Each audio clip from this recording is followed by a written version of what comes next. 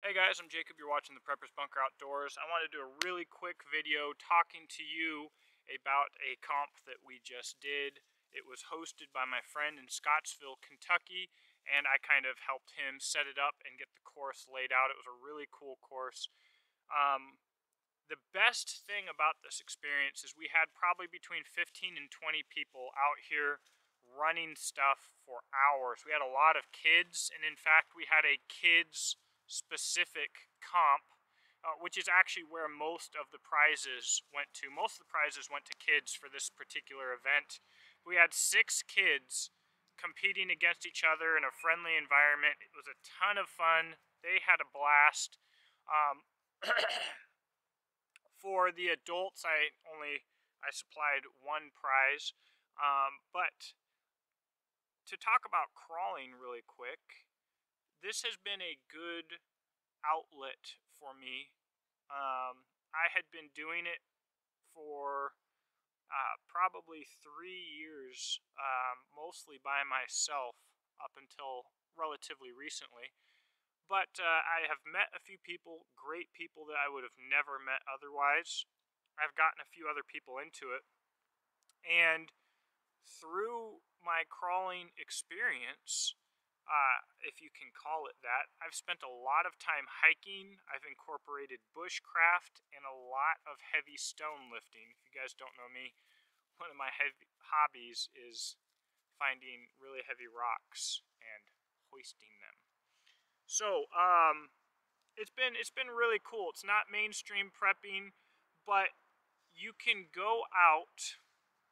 You can spend under well under two hundred dollars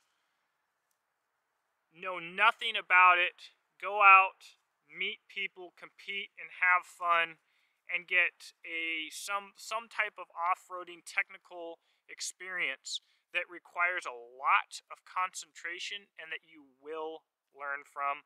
I one of the reasons I got into it, I wanted to get my kids into it, get them building RCs from kits and doing stuff like this. I think I originally thought it would be a good way for them to learn, but I know for a fact that I have learned. I've only just recently gotten my first rig completely dialed. And I learned a lot to get to where I am. I've spent a lot of time outside. I'm like doing really nerdy stuff, guys. Tuning shocks and putting stuff together and building, assembling, disassembling, reassembling, reassembling, all kinds of crap. And uh, a lot there's a lot of worse ways to learn. People take prepping a little bit too seriously. No question about it. Um, the people who act like they take prepping the most seriously, excuse me, work a day job, go home, and get on the internet and talk about how tough they are. They don't get any training. They don't actually get out and do any adventures. They don't do anything. They just like talking about prepping. And I want to encourage people in 2023.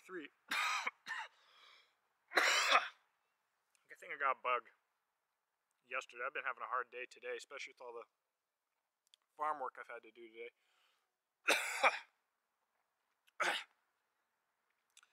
2023 goal is not going to be rewilding like most people think of it. It's going to be rechilding when we're kids,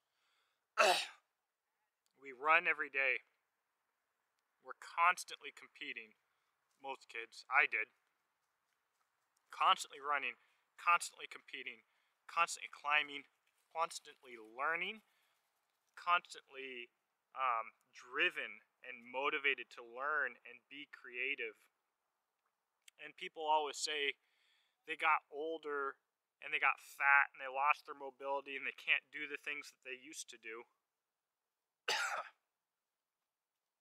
well, of course you can't do the things you used to do. You used to run every day. Now you sit at a desk all day for decades. So this uh, this isn't aimed at anybody in particular. It's just a general thing that I see in our society.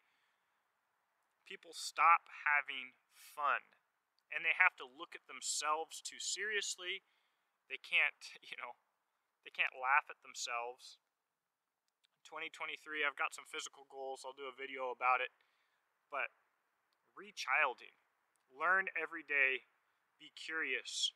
Be creative. And it's been interesting how I've learned through these RCs. Um, much like in my exercises, meeting new and different communities, I really like the strongman guys. Coolest guys ever. Strongmen do a lot more cardio than you would give them credit for. They're a lot in a lot better shape, and a lot of them are a lot healthier than you'd give them credit for. And that's been great. Uh, anything that you can do that gets you outside, gets you thinking, gets you competing, gets you meeting new people and learning new things. that's going to be the goal for 2023. Huge shout out to Projects by Night for hosting this event. It was a kind of a quick event, kind of rushed. We're going to do hopefully some much, much larger stuff in 2023. From here on out, guys, I've got a few different videos for you before Christmas. I've got a few different videos for you before the New Year's. After I beat this bug, we're going to jump headfirst back into bushcraft. I actually have some bushcraft videos that I already they're already filmed that need to be edited and go up.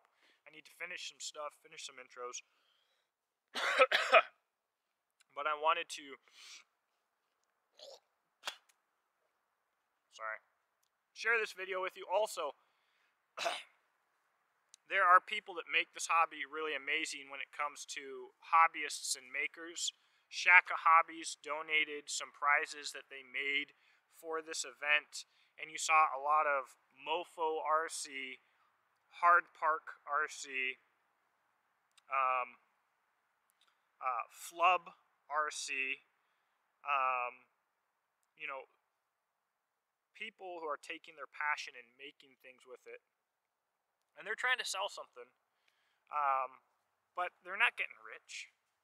They're, they're selling their passion. These guys really make the sport something different. I'm going to list them in the description box below. If you're just getting into this, um, check them out, follow them, look at what they got. If you'd uh, like advice on how to get into this, let me know in the comment section below, and I will have. Not all of you guys are going to like this, but uh, don't worry, I won't clickbait you into watching it. I will have more videos about what you might want to get or avoid in the future. I'll do a video. I've just basically got my first rig dialed to basically legendary performance as I see it um, a truly new realm of performance from what I've seen in the past. I'll probably do a video showing you guys exactly how I did it and what's important and the cheapest way to achieve it. You know, I'm not a man of secrets. Um, but I'm going to wrap this up. Again, in the description box below, um, I'm not going to put any links to me and my channel because this isn't really a, the kind of channel where, I don't know, maybe I will, whatever. But one thing I want to mention is I'm not affiliated with any RC brands at all. I'll probably never make money off of this type of YouTube video, but I'm going to do it anyways.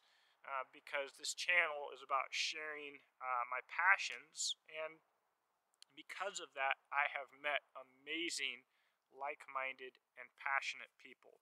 So, no matter how many subscribers I do or don't get, no matter how much money I do or don't make, the channel has been very beneficial for me, even when it just comes uh, to networking and making a dis- difference and, and telling the doggone truth in a world of lies.